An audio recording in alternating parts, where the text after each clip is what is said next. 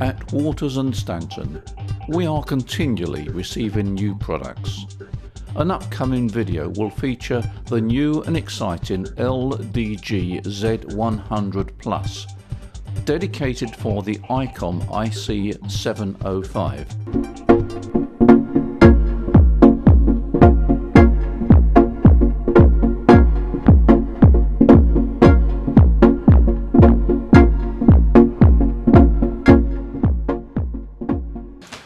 For joining me on the Waters and Stanton video channel. I've been advocating all sorts of ways of trying to get on the HF bands from small gardens. And I think it's quite important because so many of us do have small gardens, and yet the HF bands have so much to offer. And as the next uh, year or two progresses, uh, the HF bands will have even more to offer because we should be crawling up the new sunspot cycle. But it is a challenge. So what I'm going to talk about today is what I've termed the pop-up antenna. It's an antenna that pops up and then disappears again. Now this may help a lot of you that have got small gardens, can't get planning permission, uh, those, those, sort of those sort of things. And the one thing about gardens is no matter how big or how small it is, there's no limitation on the vertical measurement. At least when I say there's no limitation, uh, there are practical limitations, but it's an area that I think is worth exploring. The vertical perspective, the third dimension, shall we call it? Yes, let's talk about the pop-up antenna.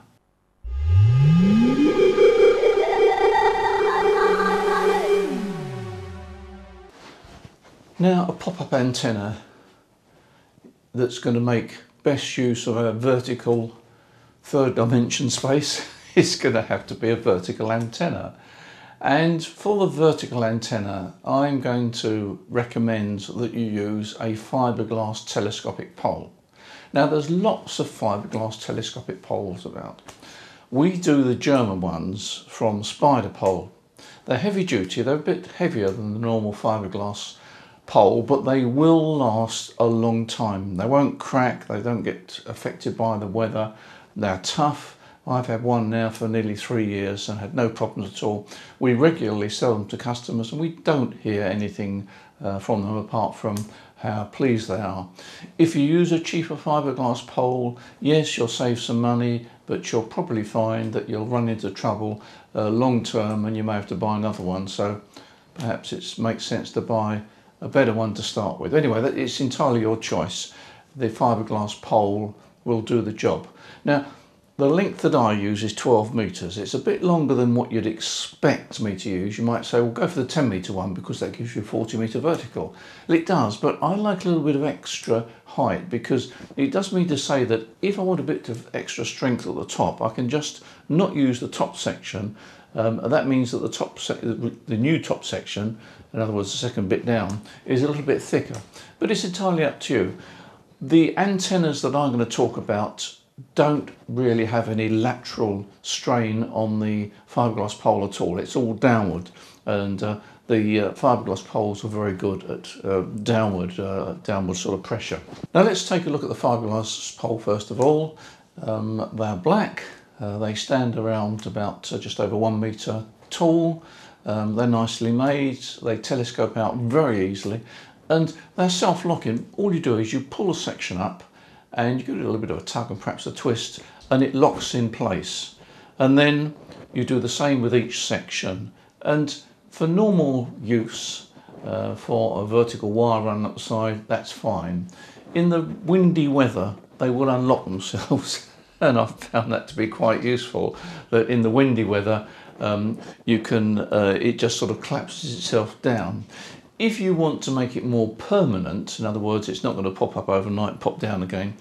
Um, if you want to make it more permanent, then use a hose clamp, but you don't use the hose clamp to clamp the section to squeeze the next bit of next section above it. Use the hose clamp on the section above, right at the base, so it stops it sliding back in. So the hose clamp doesn't have to be very tight at all, uh, just almost finger tight really, but that will stop the telescope mast uh, collapsing. But if you're going to use it as a true pop-up mast, pop it up, when you want to and then down again is dead easy. And telescoping it down is, is dead easy. You just grab the section above, get a little bit of a jolt, it'll unlock um, and it'll come down within seconds. And it only takes a minute to put up a mast which is 30 foot high or sorry 10 meters high which um, is good. I, I got um, I got told off the other day by talking in uh, feet, but I'm sorry.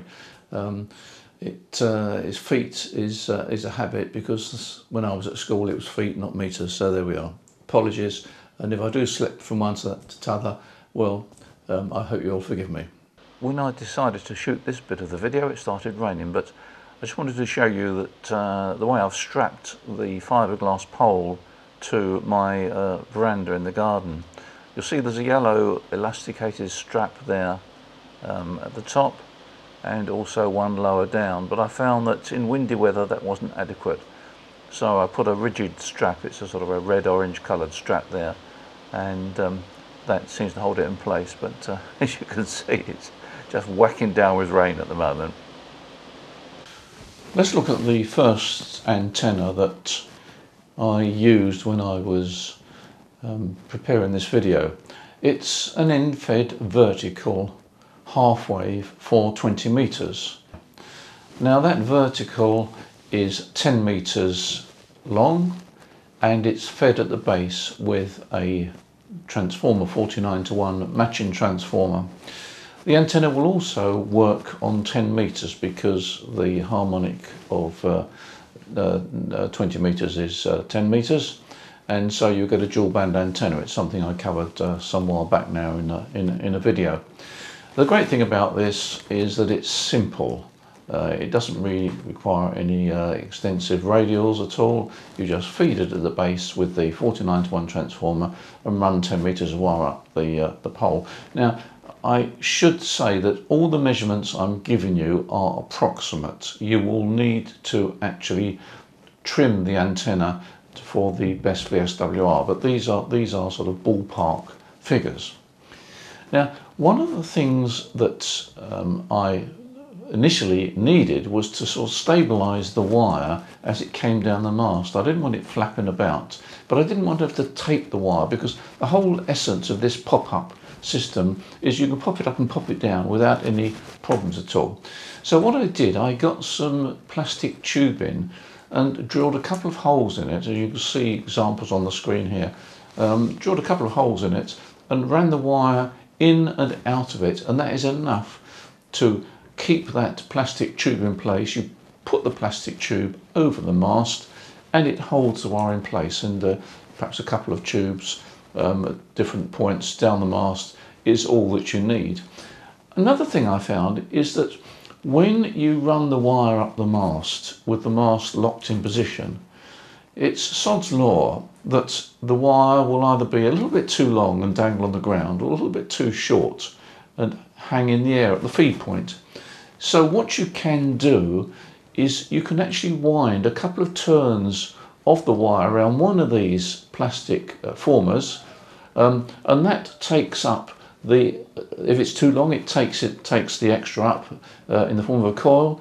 And uh, if it's too short then you drop the mast down one section and again add a coil to it to bring the feed point in the right position. So it's quite a quite a useful tip. It doesn't have any real effect on the um, resonant point of the antenna um, because you're only going to put a turn or two around it. But um, as I said before you do need to fine tune the antenna to get the precise length of wire for the band you're operating on. This example is 20 metres and 10 metres.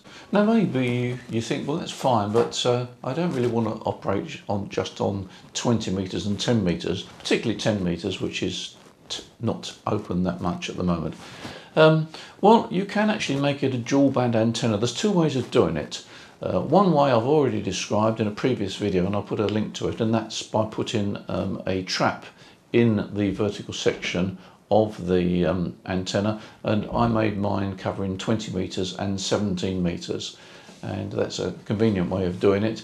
And I'll put a link um, at the bottom of this video to the video that covers making that antenna. The alternative way is to actually cut the vertical antenna at a point that gives you two bands. So if, for example, I wanted to make this antenna operate on 15 meters, then I'd run up seven and a half meters of wire, um, trim that so that it was resonant on the 15 meter band, put an insulator in there and then a bit more wire um, above to bring the system to, 20, to resonant on 20 meters simply by shorting the wire across that insulator. Now, um, you'd have to make up your own way of doing that, but basically if you cut that wire and then have a means of shorting across an insulator, then you can make that antenna resonate on 15 meters, for example, and 20 meters.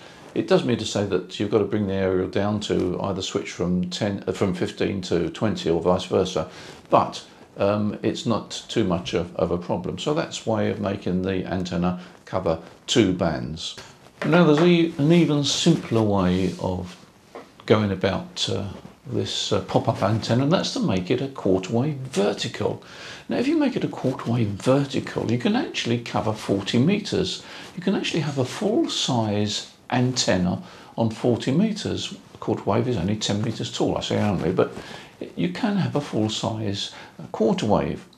Um, you will need to provide some sort of ground plane and you'll need some radials, but they can be just be laid on the ground. Now, in recent times, I think we've learnt that the radials don't have to be a quarter wave long. It's more quantity than the actual length. And it's perfectly feasible to make a ground plane using radials of no more than about three or four metres long. If you can get three or four metre radials, say about eight of them laid on the ground, you'll have quite a good ground plane and that vertical will work against those radials. And of course, if they're just laid on the ground, when you're not operating, not using the antenna, you just coil the radials up and you just telescope your vertical down. It's the pop-up antenna, it disappears. You'll see on screen here the basic idea of a quarter wave vertical. Again, the uh, dimensions are ballpark figures and again, if you want to, you can cut that antenna at any point you like in order to create two bands. So it will be perfectly feasible to have a, an antenna that covers 20 meters and 40 meters. All you've got to do is to either short or open circuit that breakpoint. Of course, there can be other combinations of bands as well, but uh, 20 and 40 seem to be quite a good choice.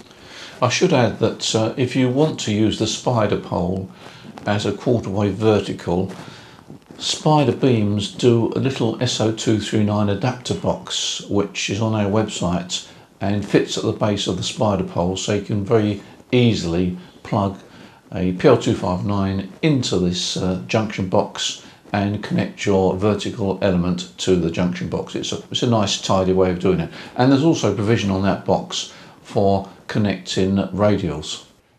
That brings me to the third option that you could uh, consider. In some ways, it's probably the best option if you want to be able to operate on several bands and flip one from one band to the other. And that is to install uh, an automatic antenna tuner at the base of this whip. Now, if you have the whip extended to 30, 33 feet or whatever, it's not super critical, it's not a bad antenna to use with an automatic antenna tuner because you'll certainly get coverage on 40 um, up to 10 meters. You uh, may well find that you can operate on 80 meters. The efficiency won't be particularly great, but uh, you could operate on 80 meters. There's a number of options you can have. I mean, the if you're using low power the IC705, for example, you can use the matching antenna tuner that ICOM have for that transceiver and that will match the antenna quite uh, conveniently. Uh, there's also the uh, ICOM AH4 which is designed specifically for end-fed wires. That will cover uh, 80 meters through to 10 meters. Um, both these ATUs are waterproof.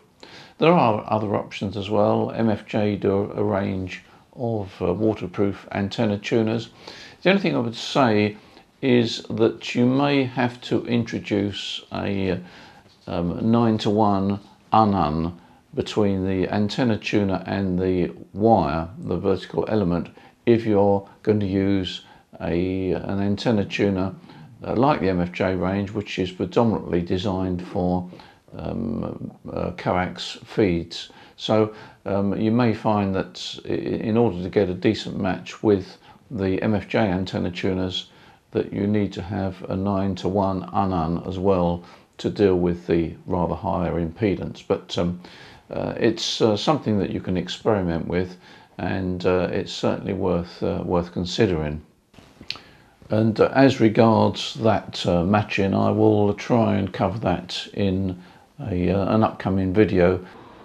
Of course, this may give you some ideas for operating out of doors. Perhaps you've got a motorhome, perhaps you've got a caravan, perhaps you've got a camper van, or perhaps you just want to park up somewhere and put up a fiberglass mast and explore the possibilities of a very simple but effective antenna system. So, I hope that you've found this video informative and it will encourage you perhaps to do some experimentation and this fiberglass spider pole is certainly a very versatile bit of equipment and it can fulfill all sorts of applications but as I said at the beginning of this video it is particularly useful if you want to experiment with vertical antennas. So thanks for watching this video. I do appreciate you supporting the uh, video channel of Waters and Stanton and don't forget we're happy to hear from you whatever you want to buy or purchase um, new equipment, used equipment uh, give us a call, uh, go onto the website or send us an email and we'll be happy to try and um, do a deal for you. In the meantime, enjoy your ham radio. I hope the weather improves because at the moment it's still raining, but uh, we are still in the summertime at the time that I'm doing this video, and I think there's promise of a bit of sunshine later in the month. We shall see. Take care, enjoy your ham radio, speak soon.